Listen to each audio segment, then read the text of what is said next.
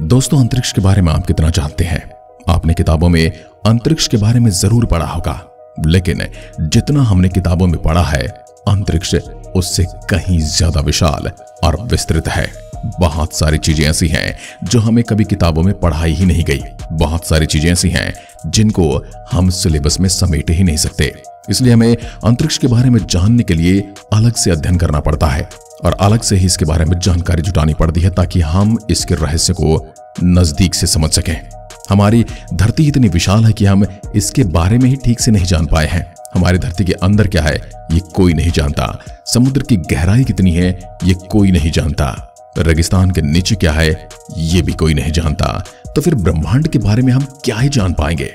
हमारा ब्रह्मांड इतना विशाल है कि उसमें धरती कहीं दिखाई ही नहीं देती है। हमारा जो ये ब्रह्मांड है दोस्तों, ये जितना बड़ा है, उससे कई ज़्यादा रहस्य इसमें छिपे हुए हैं। हम लोग तो इस ब्रह्मांड के बारे में अभी ज़ीरो दशमलव ज़ीरो ज़ीरो ज़ीरो ज़ीरो एक प्रतिशत भी नहीं जानते हैं। तो जरा सोचिए, कितना कुछ इस ब्रह्मांड में छिपा होगा?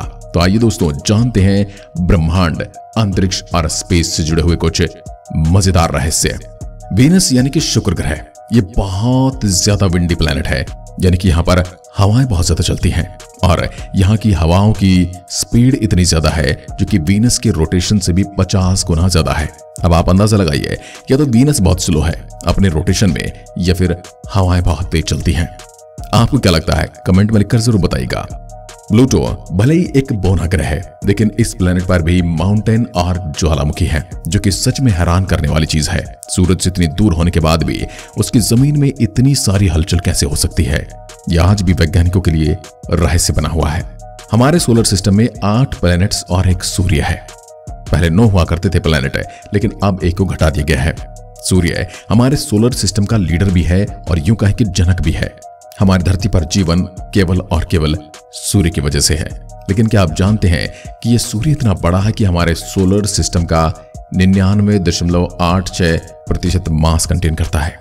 सैटर्न यानी कि शनि ग्रह के मून लेपिड्स ने वैज्ञानिकों को मोह में बाँध लिया है, यानी कि उनको कंफ्यूज कर दिया है, क्योंकि ये सोलर सिस्टम का इकलौता ऐसा ग्रह है जो दो रंग का है। लेपिड्स का आधा हिस्सा डार्क रंग का है और आधा लाइट कलर का। इसके पीछे की क्या वजह है, ये कोई नहीं जानता है। लेकिन वैज्ञानिक फिर भी पीछे पड़े हैं इसके रहस्य को जानने के लिए। जो लोग एलियंस में अब भी विश्वास नहीं करते, उन्हें बता दें कि हमारी गैलेक्सी में 100 बिलियन सोलर सिस्टम है। यानी कि 100 बिलियन तारे हैं और उनके इर्द गिर्द घूमते हुए हज़ारों बिलियन ग्रह हैं। तो किसी न किसी पर तो जीवन हो ही सकता है। और उससे भी बड़ी बात यह है कि हमारी गैलेक्सी अकेली नहीं है, बल्कि इस ब्रह्मांड में 100 बिलियन ऐसी गैलेक्सियाँ हैं जैसी हमारी गैलेक्सी है। और हर गैलेक्सी में 100 बिलियन सौर मंडल है। तो जरा सोचिए, इतनी सारी जगह हैं, इतने सारे सूर्य हैं, इतने सारे ग्रह हैं तो कहीं ना कहीं तो जीवन अवश्य होगा। यदि हम ये मानकर चले कि कहीं पर भी जीवन नहीं है तो हमें हमारी धरती और हमारे जीवन को रिस्पेक्ट करनी चाहिए। सिर्फ़ ग्रहों के बाहरी चाँद चक्कर नहीं लगाते हैं। उन्नीस में गैलीलियो प्रोब एक एस्ट्रॉयड के बगल से गुजर रहा था। इस एस्ट्रॉयड का डायमीटर केवल 32 किलोमीटर का था, यानी कि ये एक एस्ट्रॉयड था। लेकिन तब भी उस एस्ट्रॉयड का एक दशमलव छह किलोमीटर डायमीटर का छोटा सा मून था, जो उसके ओर चक्कर लगा रहा था। तो दोस्तों, इस ब्रह्मांड में बड़े से बड़े ग्रह मौजूद हो सकते हैं और छोटे से छोटे रोकी प्लेनेट के भी हमारा सोलर सिस्टम चार दशमलव छह बिलियन साल पुराना है। पहले हमारे सोलर सिस्टम में केवल मिट्टियोर रॉक्स थे। लेकिन फिर टकराव गैस एक्सप्लोरेशन और कंडीशंस के बाद हमारे प्लेनेट बनना शुरू हुए। मीटियोरॉक से बने मर्क्यूरी वीनस यानी कि शुक्र मार्स यानी कि चाँद और गैस से बने जुपिटर यानी कि बृहस्पति ग्रह सेटन यानी शनि ग्रह यूरेनस यानी अरुण ग्रह और नेपच्यून यानी वरुण ग्रह। प्लूटो एक रॉकी प्लेनेट है और सबसे अंत में है। और हम भी कंफ्यूज है कि हमारे सोलर सिस्टम का प्लेनेट है या नहीं। परंतु अब इसे बोने ग्रह की श्रेणी में डाल दिया गया है। अभी प्लूटो को केवल एक बोना ग्रह माना जाता है। हमारे महासागर इतने बड़े हैं कि इनमें दुनिया के सारे लोग समा जाएँगे और तब भी जगह खाली बच जाएगी। लेकिन जुपिटर पर एक ऐसा महासागर है जिसमें हमारी पूरी धरती समा जाएगी और तब भी जगह बचेगी। और ये महासागर पानी, गैस और मेटालिक हाइड्रोजन का बना हुआ है। प्लूटो एक छोटा ग्रह है, इसलिए तो उसे बोना ग्रह कहा जाता है। लेकिन क्या आप जानते हैं कि प्लूटो का डायमीटर अमेरिका की चौड़ाई से भी कम है? इसके अलावा, प्लूटो का सरफेस यानी कि छोटी सी नन्ही सी दुनिया।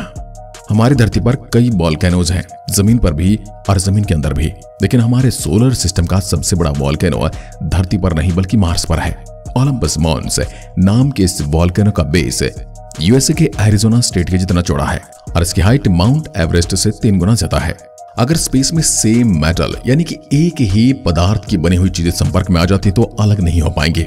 वो एक दूसरे से ऐसे जुड़ जाएँगे जैसे कि उनके बीच में कभी कोई जोड़ था ही नहीं, यानी कि वो बिल्कुल परमानेंटली जुड़ जाएँगे और आपस में जुड़ी रहेंगे। इस फिनोमेना को कोल्ड वेल्डिंग कहते हैं और ये इसलिए होता है क्योंकि दोनों चीज़ों के एटम को ये नहीं पता होता कि वे अलग अलग चीज़ों के हैं। कोल्ड वेल्डिंग धरती पर नहीं होता, क्योंकि दोनों चीज़ों के एटम जानते कि वे अलग अलग हैं, क्योंकि उन चीज़ों के बीच हवा और डस्ट के पार्टिकल्स होते हैं, जो उन्हें अलग अलग रखते हैं। हमारी धरती के कई लाइट ईयर्स दूर हमारी गैलेक्सी में एक और प्लेनेट है, जो कि पूरी तरह डायमंड से बना हुआ है। 55 कैंकरी सुपर अर्थ के नाम से भी जाना जाता है। हमारी धरती से ये दो गुना ज़्यादा बड़ा है और ये पूरी तरह ग्रेनाइट और डायमंड का बना हुआ है। अब सोचिए, इतना बड़ा हीरा धरती पर आकर गिर जाए लेकिन आप नहीं चाहेंगे कि वो आकर गिरे, क्योंकि उसके बाद धरती पर कुछ बचेगा नहीं। आपने ब्लैक होल्स के बारे में ज़रूर सुना होगा। ब्लैक होल एक ऐसा पदार्थ है जो आँखों से दिखाई नहीं देता, ये सिर्फ़ महसूस किया जा सकता है। इसका गुरुत्वाकर्षण बल इतना ज़्यादा होता है कि इससे प्रकाश भी बचकर नहीं निकल सकता। इसके अंदर जो गया, वो कभी वापस नहीं आया।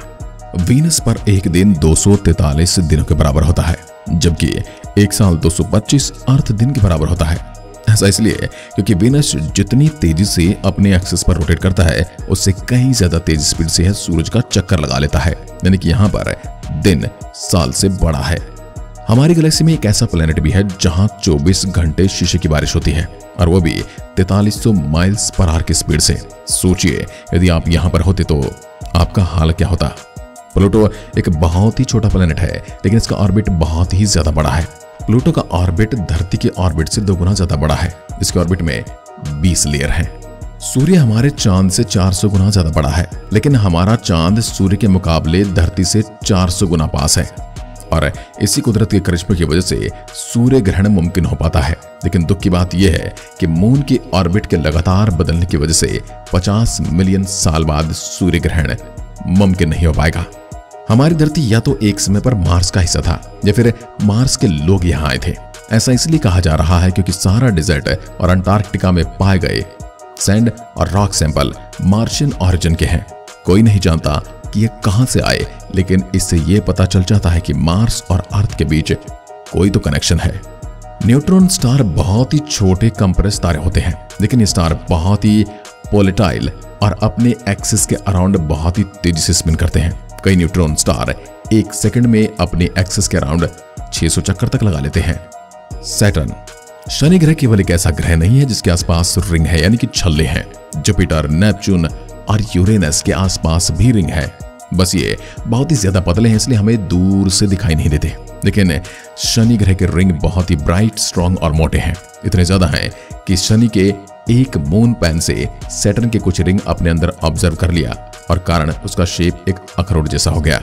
शायद आपको ये पता नहीं होगा कि साल उन्नीस में अपोलो मिशन में ऑरेंज फ्लेवर वाले एक ड्रिंक को चाँद पर ले जाया गया था। दरअसल यह पहला मिशन था, जिसमें इंसानों ने पहली बार चाँद की धरती पर कदम रखा था।